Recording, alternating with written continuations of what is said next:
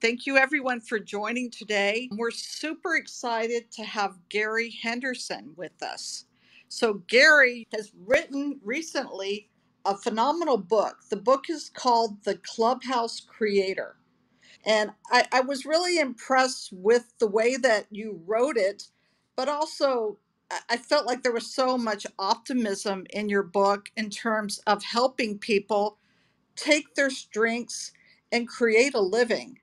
And in fact, something I just want to quote quickly from the book, and then we're going to jump right into the questions and bring our audience on stage. And here is a really cool quote I thought from Gary's um, book. He said, Here's the truth you can make money doing nearly anything in today's creator economy, and you can create your own revenue streams from multiple sources without being judged against a pre subscribed definition of success. I think in the past, I always thought, oh, a creator, you have to be this big influencer and super popular and have millions of followers on Instagram. So I really enjoyed reading through your book, and I've actually seen you put this into practice real time here on Clubhouse, which has been truly amazing. So I know that it works. So, Gary, first question for you. Tell us about, at a high level, how can people come on to Clubhouse or other platforms that are startups and start to make money? Thank you, Michele. And it's such an important question. Coming into it as a startup or, or really as anyone, it's about finding your voice. It's about getting comfortable talking about your project, your startup, your company, your business. And it's about engaging and interacting with people and getting almost immediate feedback. As a startup, we may go to a trade show or we may go to a conference and we may talk to some people or we may set up a little focus group and talk to some people. That exists every single day on Clubhouse. Every day we have new people we can meet. Every day we have someone new we can talk to, and it's a global environment. So if we wanted to meet a, group of potential investors from India, that's great. If we wanted to meet a group of our board members that live somewhere else, that's great. And we can do it all right here relatively easily. It's in our pockets, it's available, and we get that instant feedback. And that's the part that I can't talk about enough. Like when you say something and you immediately get to hear back from someone, you immediately get to see the reaction in a room, you immediately get to hear other people's thoughts and insights. It helps you craft the right message for your business. It helps you see what's landing, it helps you see what's moving energy. And speaking of moving energy, there's literally energy here 24 7. Like you start up a room and there's people 24 hours a day, seven days a week on Clubhouse. I've personally never seen anything like it, Michele. I know it's truly amazing. We came onto the platform, and by we, the folks here on the stage that run Startup Club right after it launched. And, and we've truly been amazed at the type of relationships and, quite honestly, the amount of quality knowledge that people share very openly and very kindly on the platform. It's been a really cool thing, especially during the pandemic. That's how I started. It was like my history. I ran an agency and we did, we kind of topped off about two and a half million dollars helping other influencers and stuff. And what I would do and the way I acquired clients was simple. I would go to a mastermind or a networking event. I would talk to people and help them. And then they would eventually say, Would can you help me more? Can you do something else with can we do this? Can we do that? And that's what I started doing here in Clubhouse. I went into a club called the How to Run a Million Dollar Business. One of my friends invited me up, and people were just coming in and asking questions like, How do I grow my email list? How do I run a Facebook ad? How do I build a funnel? Whatever they were asking. And I would just help. And slowly but surely, as I started to help people, they started to follow. Some of those be- people became customers or clients. And it was just helping people. It's just so natural to just talk on Clubhouse and help others. And then the energies just move so freely. so it sounds like a lot of work to some of us. So many of us are in business and writing. Oh my gosh, creating content. It, it sounds very laborious, right? Like you have to t- concentrate a lot of time, energy, and really do research. I'm very intrigued with what you did very quickly, Gary, in terms of your book and the classes, uh, the monetization that you did as a creator. Can you give our audience some tips on just how do they get started? Yeah, so for me, it was eyes forward. I realized a, a principle very early on in my life that we're going to meet people and people are at different phases in their life and people are going to take action at different times. But for me, I just have to keep my eyes forward and I just have to keep meeting new people every day. So if I meet Michele and Colin and Rachel and Jeffrey, that's great. I might be really hot with them and, we might be talking all the time and then we'll just distance ourselves for a little bit. That doesn't mean that that we're not friends or that doesn't mean we're not going to work together. That just means that it's not the right moment at the second. So in business, a lot of us we get bogged down with, oh, I've got a really big opportunity, let me go over here and work it. I've got another big opportunity, let me go over here and work it. I did the opposite with Clubhouse. Every day I said, let me go meet new people. Let me go introduce myself to new people. Let me go into a new room that I've never been in before. So it might seem like a lot of work, but if you spend more time focused on growing your audience, growing the people who know about your products, programs, or services, or your company, your startup, spend more time focusing on that. That's what we need. We just need that one next person. And most of us are one or two key customers away from a big tipping point. And we try to chase the customers rather than just going out and growing our audience so big that we attract the customers and they fall in our laps. And that's what I use Clubhouse for. So while it might sound like work, I've found that if you create more content here, you host more conversations, you go in and out of more rooms and meet more people, it's actually much easier than trying to grind and find that next customer, that next client, or that next investor. Great. I'm also looking at your book along the line of what you just said. You talk about a concept of a thousand true fans. So, how do you turn a follower, a member, into a true fan? And what are the benefits of that? Yeah, that's a it's an old essay in marketing. A thousand true fans or a thousand people that would buy anything that you put in front of them. They are your like your super super supporters. Anything within reason that you put in front of them, they're going to say yes to. And that's all most of us need because there's a ripple effect around that. See, a lot of us we really only have probably 20 or 30, maybe 40 super fans or true fans. Maybe we have five or 10 people that'll buy just about everything, and then we pick up a couple of other customers when we launch something. But if we could get to 1,000 people, and if every day we tried to bring on one new person, if we could get to 1,000 people that would buy what we have to offer, then that creates an army, a big voice of people that are out here supporting us. It takes a big voice of people that are in the community and they're cheering you on and they're cheering on the mission and they're moving along with it. So it's not let's go get a hundred thousand or a million or two million. It's let's go get a thousand, and that's all you need. And now when you get a thousand, you're going to evolve and grow beyond there. I'm the number uh, top 10 creator coin at Rally, and I have about 1,500 supporters.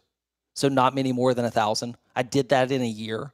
My one year anniversary is actually a week from today for my creator coin. So I, I was able to amass 1,500 plus supporters in one year so if I can do that in one year, I know you can too. So that's the mission behind a thousand. It's a number that's achievable. It's a number that carries a ton of weight. And it's a number that that we can all reach relatively quickly. I did it in a year. That's phenomenal. Congratulations. So we have some other folks here on the stage. Let's go to Colin for a question for Gary. And then please, folks in the audience, we do want questions from the audience. So please update your bios so that we can get a little bit of a feel who you are. And we'll bring you to the stage when you raise your hand. Gary, nice to hear from you again. You as well, Colin. You as I well. won't say I won't say nice to see you again, but social audio chat is a whole new medium. I think a lot of us have become comfortable with Facebook. We've become comfortable with Twitter and LinkedIn. This is a different type of engagement. So, can you talk a little bit about how someone today who has used those other mediums can find their voice on social audio chat? Like, because it is different, it, it takes a, a different approach. And what are some of the tips you can give people around that? It's a great question, Colin, and I agree with you. it, it is different, but it, to me, it's easier but I like to talk to people. I like to interact with people and I like to engage with people. Facebook, Instagram, Twitter, they're delayed communication. So if I send you a message in Facebook Messenger, I have to wait for you to respond. And that might be right now, or it might be five minutes, or it could be an hour. And if it's an hour or two hours, I'm not in the same energy or the same mindset. I've shifted. My focus has shifted. Where when we're talking on Clubhouse right now, we're all present in this moment, or you might be listening to a replay, but we're all present in this moment. So when Colin asked me a question, I immediately heard it and could answer it. So that's what Clubhouse gives us in a social audio platform. It gives us an ability to accelerate our speeds of connection because we're talking in real time. We're experiencing life in real time. We're hearing the frustrations or the lens that's on our face right now. If Colin, if you're having a bad day, then your lens is a little different than if you're having the best day you've had in the world. Then your lens is a little bit different there. So it's just the experience that I haven't found anything else that could replicate it.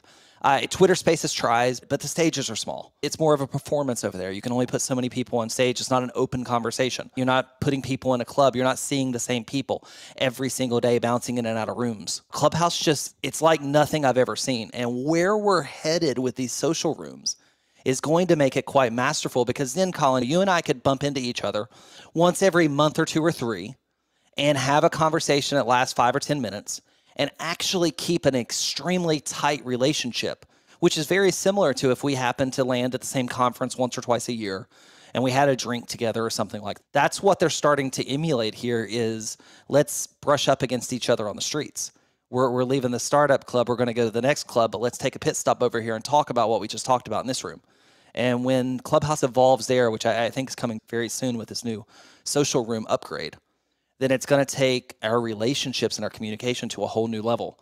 Because right now it's quite performative. People can raise their hands and come up on stage, but there's not a lot of like impromptu drop ins. There's not a lot of just conversations happening in the hallways. And I think we're going to evolve to that point where our rooms are going to get a little smaller. They're going to get a little bit more intimate, but we're going to have a lot more moments where we're just brushing up against each other and saying hi in the hallways and creating those streamlined communications. Yeah, and if I could do a follow up here, because we deal with a lot of um, corporations that want to sponsor Startup Club. We're 800,000 members strong right now. It's going very well. But when they come on to do these rooms, more often than not, they have these sort of pre scripted messaging that they try to deliver in conventional, almost one way medium. And I've tried to talk to them and say, listen, first of all, it's live, anything can happen. But second of all, it's all about being authentic. Can you talk a little bit to that as well? Yeah, you're not running an ad. You're having a conversation with people. So for me, if if I was going to sponsor something, I would want to build a relationship and I would want to sponsor a series of conversations with key creators in a club that's going to bring an audience. I would want to sponsor what the club means. So you do have to be authentic. It can't be like, oh, this room is brought to you by X because nobody relates there. But when you start to craft conversations around what X does, whatever that company is, you start to create content that will start to attract people. We might look at normal media and we may say, oh, we want to pay this much CPM, this many uh, per thousand impressions, or this kind of media reach. But Clubhouse is different. If you got normally, if you would run an ad and you would say, man, if I just got one customer, it would be super successful for me. If you just sponsor a Clubhouse room and there's one person in the room, that could be the one customer because it's that type of environment. So you have to look at the data quite different. But really getting in and spending time in clubhouse rooms, I like to spend time with creators. I'm not running a massive budgets. I've sponsored a lot of creators on the platform though. And I sponsor them quite freely to say, hey, I like the type of content you're creating. Can you work me into your content? And they will. They'll work my book into the content, they'll work my, my crypto into the content. So I think if some of your potential sponsors would look and say, let's sponsor a series about this in the startup club, it would be absolutely massive and there would be a lot of brand loyalty that would be built. Yeah, that's a great suggestion. And actually, we are trying to do that. Really appreciate that confirmation and that advice. Because Gary. brands, see, the, the brands have a struggle, right? if we think about it. Let's just take, I'll take HubSpot, for example, because I would imagine that HubSpot would be a pretty good sponsor of the Startup Club. Would that be accurate? Yes, that would be a good candidate for sure. So I'm a platinum partner with HubSpot. I, I know the company very well, so I'll just speak of them. They have a struggle right now is how do we play in social audio? They don't know how because they have to have a voice of social audio. They can't be HubSpot. They have to empower people to have a voice. And those people may or may not stay with the company for long. So that's a struggle. Where if they came in and sponsored some creators that were running inside of the startup club, hosting conversations, then they could do a three month, a six month, a nine month, a 12 month sponsorship of key creators to curate conversations that are HubSpot specific. So that's a better play than HubSpot trying to come in here and say, I'm going to be HubSpot on the platform. That's tough. But saying, oh, we want to do marketing automation stuff. We want to do CRM rooms. We want to do systems rooms. We want to do these types of rooms in the startup club. Can you help pair us with some great creators that can host great conversations and cultivate a great audience. And we will fund that project as part of the startup club.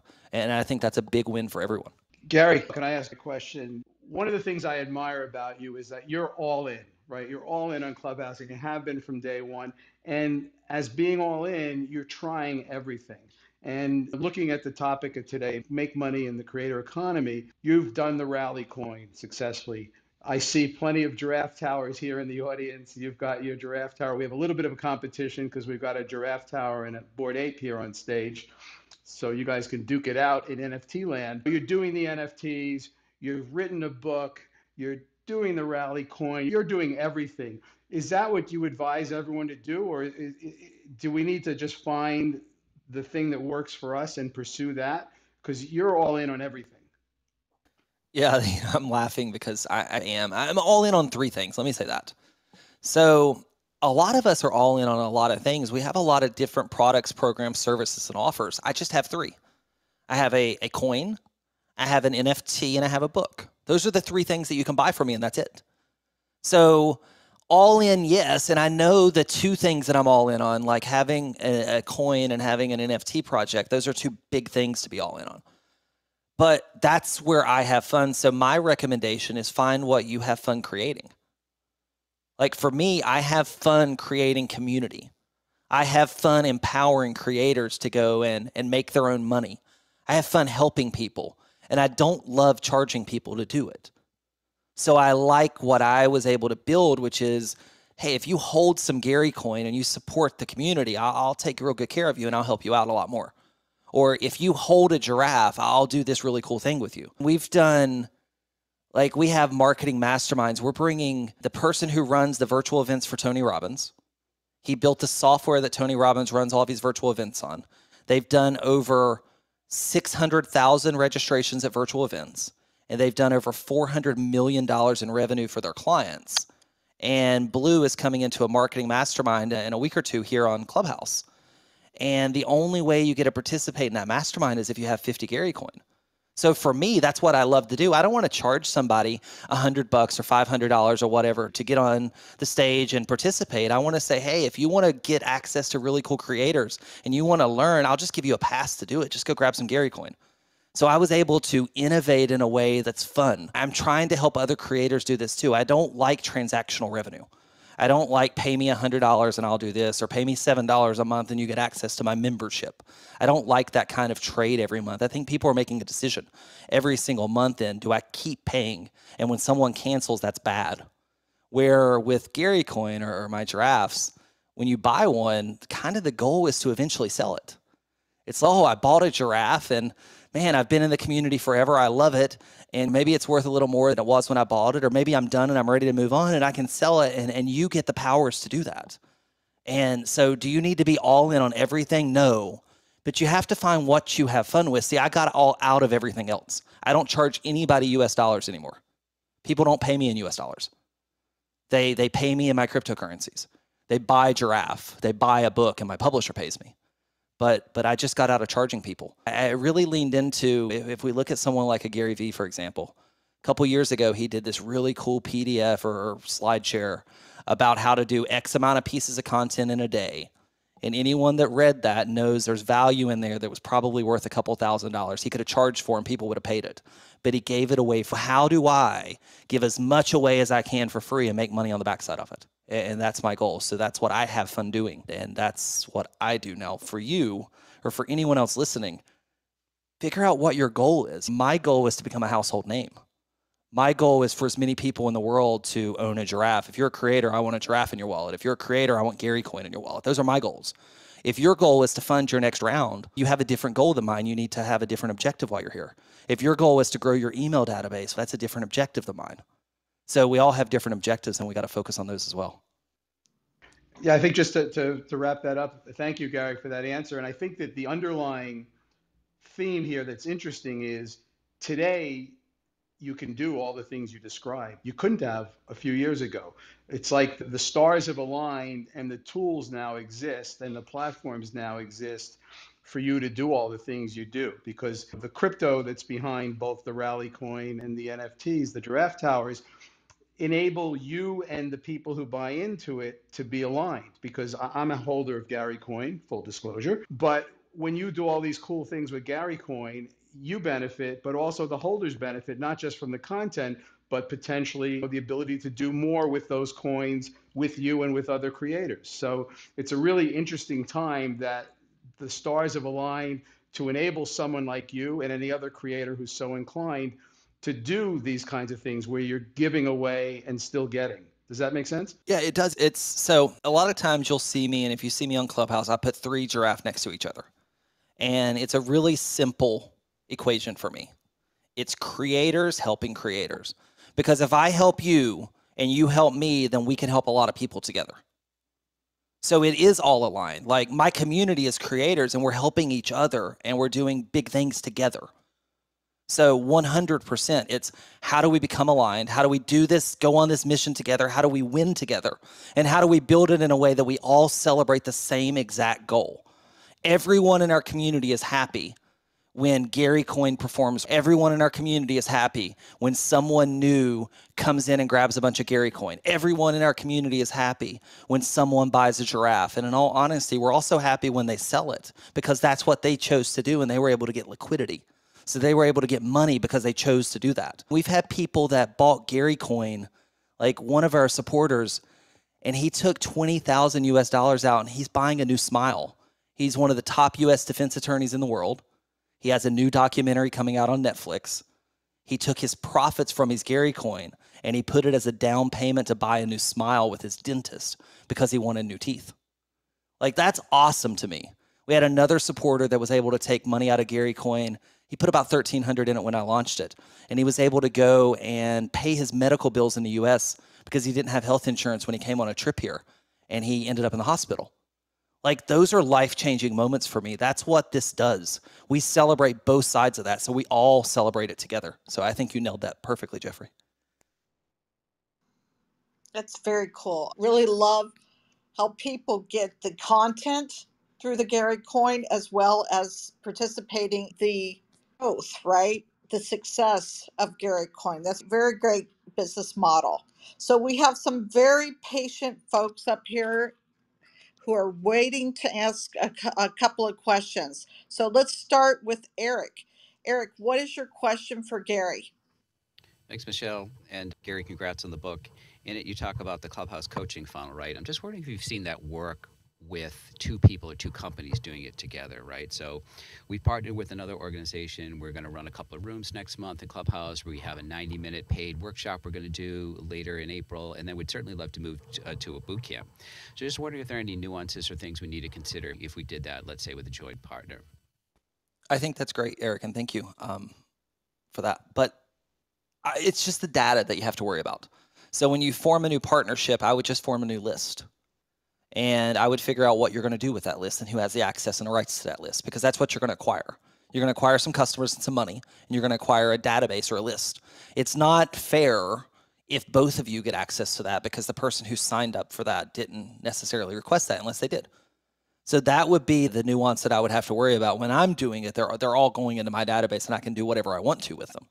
But if you're doing a new partnership, what if you decide, oh, this database would be perfect to go offer this service to? And your partner says, yeah, but it would be perfect to offer that service to. You own the data together now. So you have data privacy laws and stuff like that you have to worry about. So that would be the nuance that I would worry about. But as far as it working, it'll work amazing. What I've seen a lot of people do is one person take the lead and bring in another creator as a co creator but they pay them. So they say, hey, I'm going to own the data. I'm going to do the heavy lifting, but I'll pay you this percentage or I'll pay you this based on this, and I get to use your name. And that works quite well as well. Eric, does that help you? Yes, it does. Thanks again. You're very welcome. I can't wait to see what you create. Great advice. Okay, Donovan, what is your question for Gary? Yeah, hey everybody. Hey Gary. I actually just got uh, got Gary Coin based off of our last interaction on Clubhouse, where I shared that my hope is to actually help equip the next generation, like the young adults, so that the create content I'm creating and the community I'm creating is designed to help them change the world and change it for the better. And so you're like, you've got a gold mine on that. And so I was like, all right, I'm all in on Gary, backing up the idea and loving the idea. And I've seen you on numerous different rooms as well, Gary. So I'm just wondering, picking my few things, I, I definitely have more familiarity with Facebook groups and Facebook and that kind of thing. And I think that would work well for the parents. But I'm starting to see the light a little bit on keeping it as simple as possible as well, so that young adults have a way to come in at different levels. So I think just like you have one coin, five, 10, 100. So I'm just wondering where to focus these days. If I'm looking at Generation Z, and I'm really looking at the ones that aspire to be the leaders, the difference makers, the ones that are going to solve some of the world's problems that they're inheriting from us. What would you recommend as the top three for me to focus on? As many people as you can reach as possible and monetize at the lowest possible level. The more people pay you, the the bigger the, the struggle it becomes in, in all capacities, in all honesty. So, what you would want to do, if you could, is you would want to get as many people in this example to hold one coin as possible. And then all the people that hold one coin, you would want to get the people that hold one to go get two or three or four or five. The hardest is to get them to have the one. So I would focus on getting a, I would honestly get a Discord server set up because if you want to play in the Web3 space, you need a Discord server. I would focus on growing your audience of people who know your name and then I would focus on what can I give that's so huge at the smallest possible level. And by doing that'll give me all the people that I need to go to level two, level three, or level four. Does that make sense, Donovan? Yeah, I think so. So I mean, like the the first level could be as simple as just having a like a regular meeting. Yeah, you like want to give them so much. Like you want to give it's counterintuitive, but imagine that you have three levels. Take whatever you would give at level three and give it at level one. Because people will go to level two and three anyway, because they're going to get fulfilled or they're going to get served so big at level one. So you want to way over deliver on your first levels. So you make people so happy that they're so excited that all you need is a little bitty nuance or a little twist of a dial or a little bitty something extra, and they'll just naturally upgrade because that's what they want to do because they're getting served at such a high level at that small investment, if that makes sense. It does, yeah. And so I guess one question that comes way before that is how do you actually build a large enough audience to actually qualify to be eligible to have a coin? Create as much as you can. So a lot of us think we've got to we create a little and then we go serve our clients. We actually need to do the opposite. I learned this. I had a client of mine and he was a Broadway musician and he had been in a lot of big things. And I said, "How'd you do all this?" And he said, "Gary, I'm going to tell you the secret. I'm not the best musician." I said, "Okay, well, I could I get that. I understand that." He said, "While all my friends were playing music trying to become the best musician so they could get the Broadway gig, I did the opposite. I practiced about 20% of the time and I networked about 80% of the time. And I got every opportunity because of who I knew, because of my audience. Now, when I got the gig, I would go practice like crazy, but I knew I was good enough to get the gig. So many times we think that we need to become the expert, we need to be the best, we need to keep studying our craft, and those are true things, but at a smaller percentage. What we need to do is we need a bigger audience. So we need to focus more of our time and energy not on becoming better or doing our craft, but at letting people know that we actually do that. And if we spend about 80% of our time focused on growing our audience, 20% of our time on, on actually doing our craft, that's what you would need to do, Donovan, in order to get an audience of that size. That's what I do every day. I don't have one on one conversations with, there's no one on one opportunities for me. I do them in public. I do them in public with my clients. I do them in public in Discord. I do them in public on Clubhouse because it scales intimacy. It lets people get a relationship with me. So I don't have to get a relationship with everyone because I can't. There's no way I have 84,000 followers here. I don't know all my followers. But every day I'm saying, hey, can I get another follower? Can I get another follower? Can I build a relationship with those people? If they want to build a relationship with me, they can. But every day it's just eyes forward. Every day it's who else can I meet? How do I spend 80% of my time growing my audience or meeting people and 20% of my time fulfilling? Are you doing that, Donovan, or are you the opposite of that? Not the opposite of that, because I think about the last couple of things I've created, it would be for the use of just the handful of you know, I've got maybe a couple dozen people that I serve, and anytime I'm making something, it's typically for inside who I'm serving rather than something that I could just drop out there somewhere and say, this is a new template or a new tool I've created. So, yeah, I think it's probably the opposite and still you know, maybe honing the craft more than building the audience. I, I, think for most of us, for most of us, it's the opposite, at, at, especially at startup.club. Michele, Jeff, correct me if I'm wrong, but I feel like we're all about content, but we don't spend a lot of time building an audience. Interesting. It's very thoughtful there, Gary. Yeah, absolutely. It makes me think you're almost saying like you have to get out of your own way, Gary, right? Like get out of your own little headspace. Just get out there and start making it happen. Yeah, it's what it's quantity, right? You have to produce. You don't know what's going to happen. You don't know which piece is going to land. Like we have a top 70,000 blog online. It's digitalmarketing.org. And this month, one of our newest blog posts has had 16,374 visitors. It's how to sell NFT art, a guide to sell NFTs on OpenSea. It was written for the search engines. They have the audience. I wrote a piece of content for them. Our team did, my wife actually. But we wrote a piece of content for them. So it's, I could have written what I wanted to write, but what if it would have only gotten 100 views or 200 views or 300 views? But I actually did the research. I wrote for Google.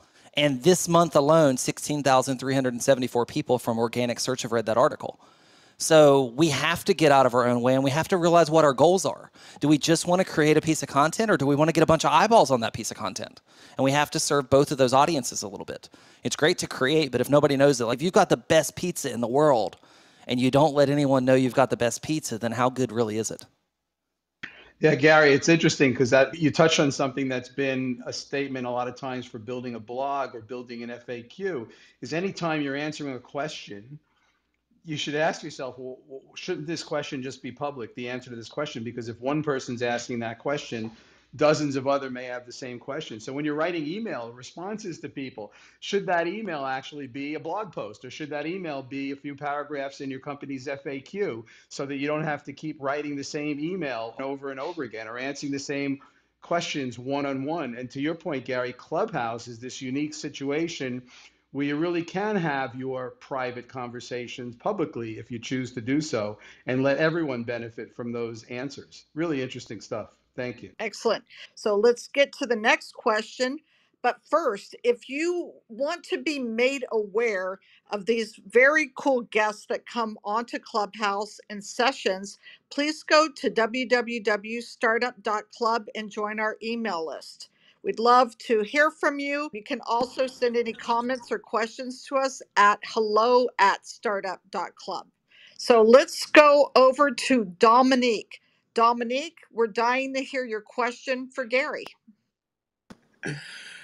Hello. Excellent. Gary, it's great to be in another room with you here on Clubhouse. Phenomenal as usual. Real quick, I do want to say I, I, love. I'm a big fan of giving giving honor where honor is due, or as some people say, give people their flowers while they're still alive. And so, one of the things that I, I definitely want to just take a quick second out to appreciate about you, Gary, is how you assume responsibility. You assume responsibility. I think that's very different from what a lot of other creators do. And I love when I come into a room and I hear you talking about what can I do how can I change this? How can I impact this? And so I, I think that that's very big, and I think that's huge character wise that you're the type of person that assumes responsibility for changing some things.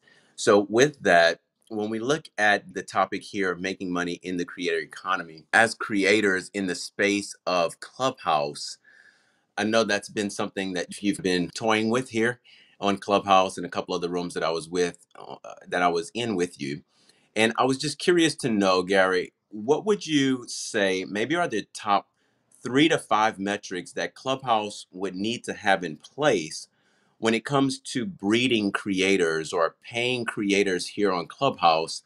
What are some of the things that Clubhouse needs to be looking at And the reason why I'm asking this, Gary, is because I think it's going to give good foresight to all the creators in the room. If we can know what to start looking at and how to start playing this game ahead, even if it's ahead of the clubhouse creators themselves, so we can start positioning ourselves, what you were just saying about creating the audience, spending more time on that versus spending time on the actual content itself.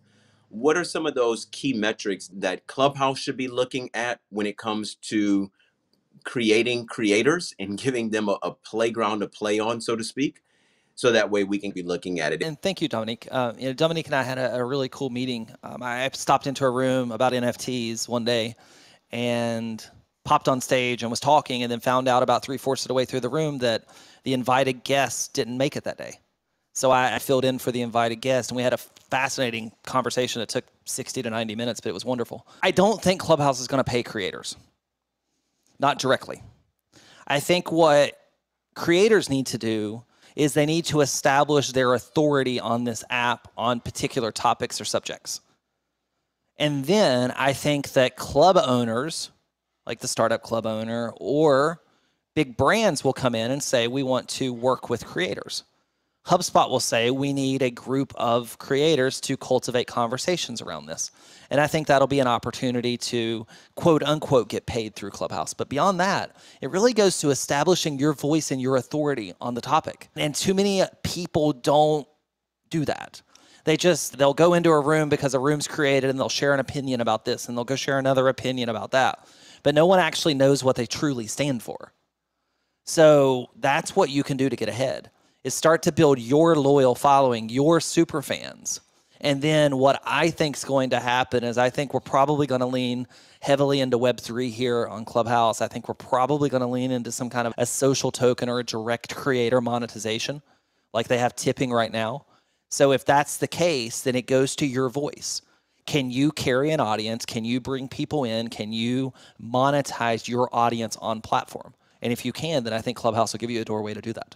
Excellent, Gary. I appreciate that. Uh, that's great insight as as usual. Thank you. Yeah, and I, there's a particular chapter I want to mention. As I was saying earlier, I really enjoyed the format of your book. And one of the reasons for that is how you give very kind of specific tips and advice and obviously, we know you, so we know you've actually done this recently and it worked. I'm curious if you could just briefly run through a couple of these ways that you talk about in the book that people can move to making money as a creator. Gary. Yeah, most definitely. Uh, I can give you several ways right now you can make money as a creator. If you can host a room right now, and some of these are in the book, and some of these I'm going to share some things that I've learned since I wrote the book. So if you could host a room right now, you could become an affiliate of anything that you wanted to be an affiliate of. And as an affiliate, if you disclose that you're an affiliate and someone clicks the link and purchases, you could make money. For example, you could go to Amazon and you could become an affiliate on Amazon and you could publish the top 10 books that every startup needs to read. You could totally go run a room, the top 10 books that every startup founder needs to read. And all of those links could be affiliate affiliate links and you would make money every time someone paid. Now, if you want to go a little bit more active with that, you could grow your email database. So you could give away a free gift at the top of this room right now. They have the startup.club website. I would put like the Gary.club website. You could put whatever .club website you want up there and then you could grow your email database. Once you have your email database, that's your audience that you could market to any way you wanted. So then you would be emailing them your products, your programs, and your services. You could run a workshop. So you could give away free content here on Clubhouse, but we're limited. We can't show video, we can't share our screen, we can't show slides, we can't do any of those things. So then we could say, well, I'm going to give you free content here on Clubhouse, but if you would like to come to a workshop, you could pay to get into the workshop, or you could sell a membership right? So you could totally sell a membership here on Clubhouse. John Lee is a big creator on the app, and he does that. He's had well over 5,000 people join a $7 a month club called JL.club. So there's a lot of opportunities to just create an audience and then deepen that relationship just a little bit. But that's all it is. It's audience, relationship, and then they will just start. There's energy, there's money that will just start flowing right to you. Great. Thank you for that. All right.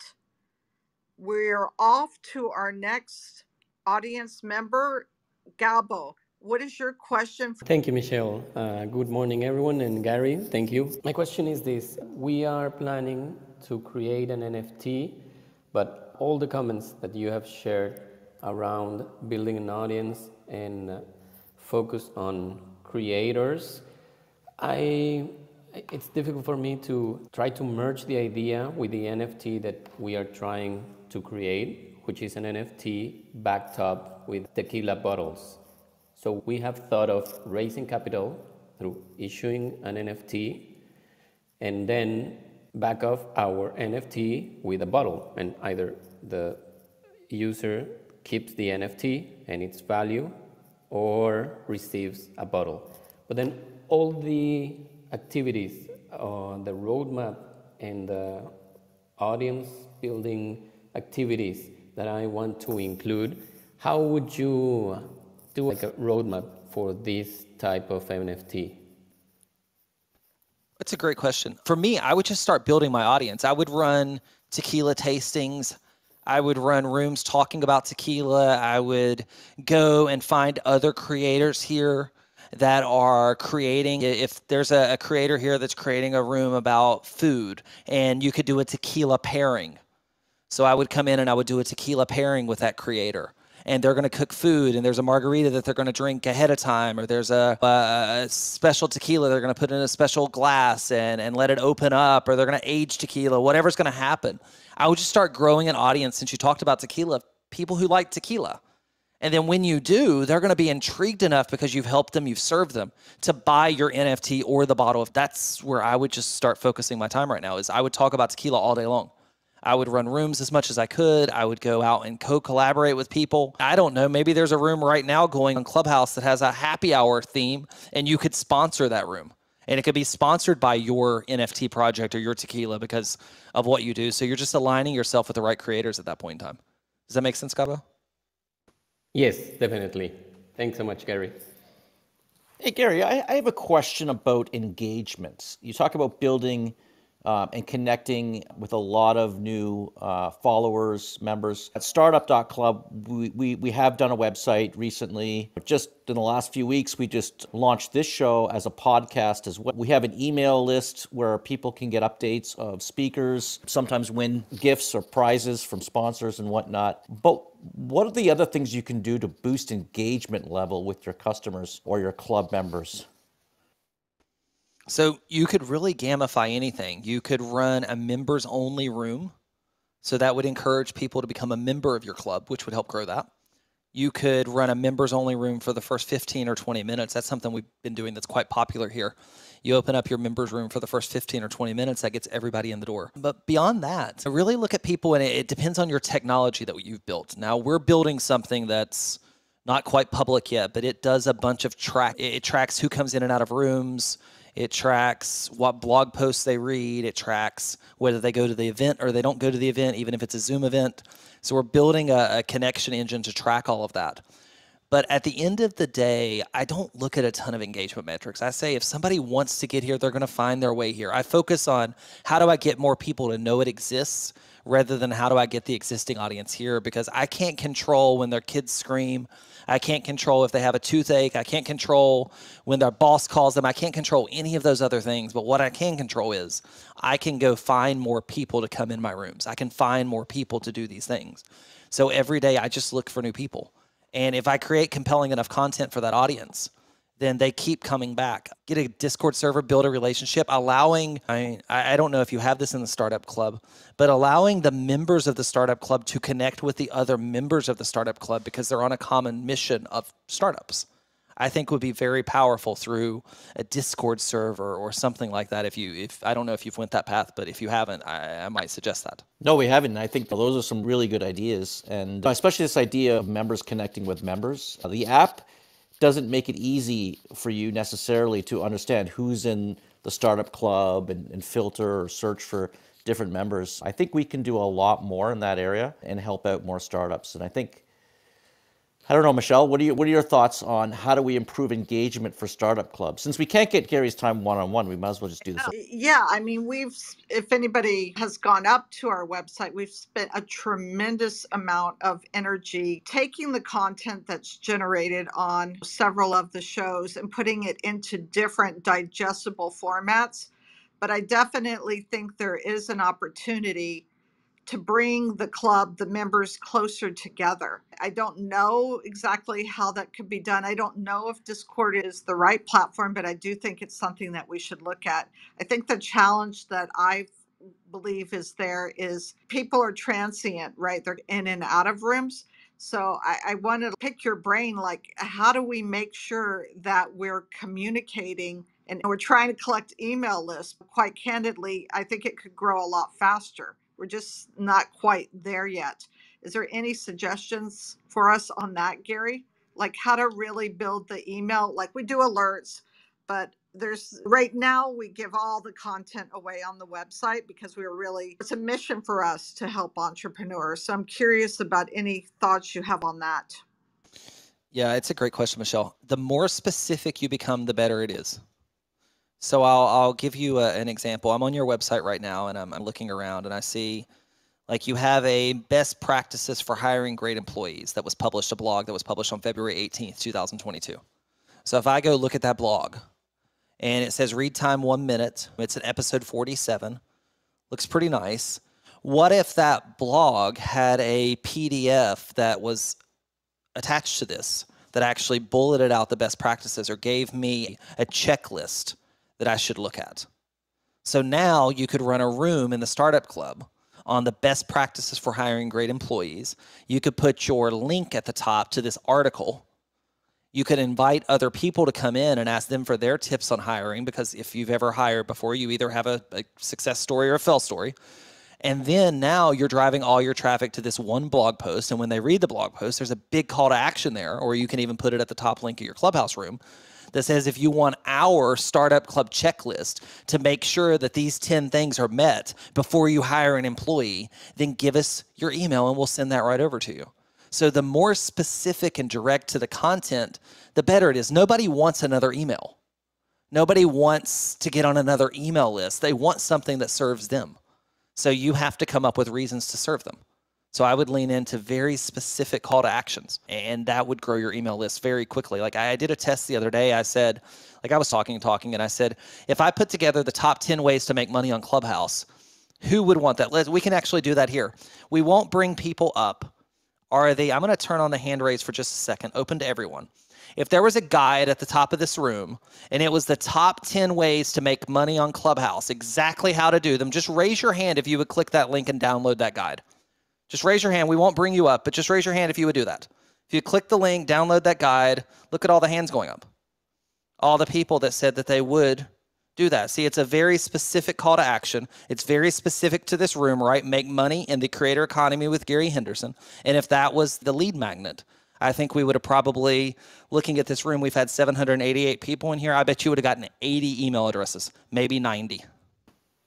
Yeah, and when we gave away the books, we could have done that as well. We could have said, if you're interested in, in, in getting one of Gary's books, click the link above, give us your email address, and we'll put you in a lottery to win that book. Is that would that work as well, or is that hundred percent? Like you could have okay. said, "I'll give you instant gratification. Yeah. Everyone's going to get this free gift, and three of you are going to win a free book." Okay, yes, I want that. I want that. I want that. I want that. I want that. I want that. That's just people want something that helps them. You could have also said, click here, give us your email. We'll send you startup club updates and enter you into a contest. It wouldn't have worked as well. So I guess the best way to explain this is if we were on the streets and we were in New York City, in Manhattan, and it was Macy's and they were on the street saying, Give me your email address and I'll give you $10 off. Give me your email address and I'll give you $10 off. It wouldn't work as well. Now, if we were walking into Macy's on the way in and they said, Give me your email address and I'll give you $10 off, it would work a little bit better. But if we were at the cash register and we were getting ready to pay, and they said, if you give me your email address, I'll email you your receipt and let you save 10 bucks right now. Would you like to do that? I would almost guarantee they would get like a 90% conversion rate because the people are ready to buy then and they instantly save $10. So it's that instant gratification we have to nail down. Wow. This has been a really good session for us. Uh, really, thank you, Gary, so much for that advice. It's and I'm sitting here thinking, like, why haven't we done that? I, that's really good advice, and I we really do appreciate it. So, do before we wrap this session up, I see people are starting to raise their hand, and I think you have questions, but I'm not sure. So, if you have a question, I'm going to, uh, I'm sorry, if you're raising your hand, I'm going to bring a few people on stage and then we're going to wrap up. I think we might go a few minutes over, Gary, if that's okay with you. Yeah, that's perfect. I, I've got time. Okay. All right, so I'm inviting a few more folks up to the stage. If you got, if you have a question and you're interested at all in making money as a creator, please do come up. This is a rare opportunity um, to talk to Gary, the guy who really does it and has phenomenal advice. Okay, so we have a couple of new folks on the stage. So let's go to Moss Hood. Moss Hood. Okay, thank you. Thank you for having me. Thank you, Gary. I've really learned a lot uh, in this room tonight. Thank you very much. So, my question is how do you go about collaborating on Clubhouse. Collaborating collaboration is a big thing now. How can one go about collaborating? Thank you. It's a great question. It is a big thing. Best way I know to collaborate is to build relationships with people slowly. So if you find someone you want to collaborate with, then start going into their rooms, start raising your hand and getting on stages, start showing up in the front row, and then eventually make it a win win. I'll give you a little secret. Almost everyone on Clubhouse likes to talk and they like to talk about themselves or what their, their offers are or what their, their story is. So, one of the best ways for an immediate collaboration is offer to interview someone. So, if you said, Hey, I would like to interview you, now don't offer, you're not always going to get an hour. Hey, I'm running a room about Clubhouse. Could you stop by in this window and, and could you spend maybe 15 minutes? I'll come right to you as soon as you walk in. I want to hear your insights. I'm going to have an audience there. I'm just waiting. I'll, I'll be waiting for you when you walk in and I'll come right to you. That's an easy collaboration for someone right? When it's let's schedule this room, can you send out an email? Can you do this? Can you do that? The more hurdles you create for someone, the harder the collaboration is. So when you're just starting collaborating, just make it easy hey Gary, I'm running a room. Would you like to stop by? Hey Gary, as soon as you come in the room, I'm going to swing the, the, the mic to you. Hey Gary, I'm going to do this. And then eventually, before you know it, you become friends and you collaborate a lot. And I'm just using me as an example. I may not be your ideal collaboration partner, but almost everybody would appreciate that. Thank you very much. Thank you very much for that. I Great. appreciate it. Great practical advice. Okay, we have next Vignesh. What is your question for Gary? Thank you, Michele. And um, uh, Gary, I, I, have been in some of your rooms, and it's amazing that I get to talk to you today.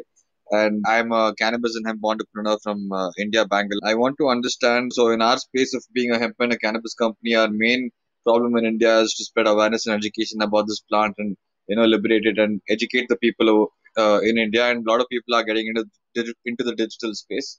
And um, I want to understand if if you think there could be possible collaborations to spread awareness and education about this amazing plant and how it can help the Himalayan farmers through art and uh, through creators. Uh, and, and if there is a way for a company like us to think about uh, collaborating in like the art space to do education and awareness uh, for our company. Thank you. I have a question for you. What would be your goal? What's a success point for you? Are you getting a customer? Are they buying something? What's success? Our customers are getting uh, uh, educated about cannabis and hemp, and we want to change their perception in India because everybody still thinks hemp is illegal, even though it's legal, and they have a lot of social stigma attached to it. So we, we want to change perception of people through education and awareness and also maybe move them towards having a experience with a hemp or a cannabis product. And do you only operate in India or you do you work globally? So we just uh, actually launched a new logo, a new packaging. I was working alone, but now I got some people who are helping me out, and we are looking to expand globally and be a global brand, definitely. Yeah, so I think you have a great opportunity. One of the the clubs here on Clubhouse, what are they? They're young. I think the guy's name that runs it is Drusian. Do you know Drusian? Uh, no, Gary. Young, wild. Hold on, it's Young, Wild, and Free is the club. So young, wild, and free. The person who runs the club, it's D H R U V I N B U S A. So this particular person, they run a, a very large club with 91,000 members. And it is a group of honestly just people from India that hang out and talk. And they usually get about a thousand people at any given point in time live in their rooms. So if you looked at something like that and you said, oh, I could start hanging out in that room, I could start building relationships with people in that room, maybe I would sponsor that room. Maybe I would hire some creators in that room and they would go create content for me. I think that would be a, a, great solution for you there locally in India that would help you start to find that voice as you're getting your footing to expand out of the, the footprints of India. Thank you so much, Gary. That was really insightful. And I hope to be in more of your rooms and really learn a lot. Thank you so much. You're welcome. And I'll say this here creators want to make money on the app. So if you're a business and you can find a creator and pay them a little bit of money, they're happy to take it and they will gladly talk about your business. There's a need for creators to make money here. So if you're a brand or a business, start building relationships with creators that you like and offer them some money offer them an opportunity to create content on behalf of your business or your brand. Here on app, or in all honesty, start to build a package where they're tweeting about you, they're on Instagram, they're on their blog, whatever their assets are, whatever their distribution channels are. As a brand, start building relationships with creators. It's going to be the future of how we monetize not only as a creator making money, but it's going to be the way that brands need to reach people because we're turning into a human to human connection engine and brands aren't very humanized. So you'll need creators to be part of that. That's why companies like HubSpot and LinkedIn are launching podcast networks because they realize the value of having creators inside of their company. Wow, what an incredible show today. Gary, I know I bought the book, your book. It's great. I'm on your email list. It's great. I don't have your Gary coin. I don't have a, a giraffe yet, so I have to do some research on that. But what a great show. Really enjoyed it. If you liked the show today and you're in the audience and you listen to some of the speakers, you like what they said, please feel free to follow them. Next week, we are going to have another author on the gentleman who wrote Scale Your Sales, Michael, and he's coming on next week. So if you want to improve your sales for your company, this is one to listen to. Again, you've been listening to the Serial Entrepreneur Club Hour. It is now in podcast. You can pick up the recording of any of the shows that we've done weekly every Friday at 2 o'clock on startup.club. And of course, please sign up to our email list if you want to hear about other great speakers coming on. Thank you, Michele, for leading us today. Have a great day, everyone. Thank you. And thank you, Gary. Thank you all.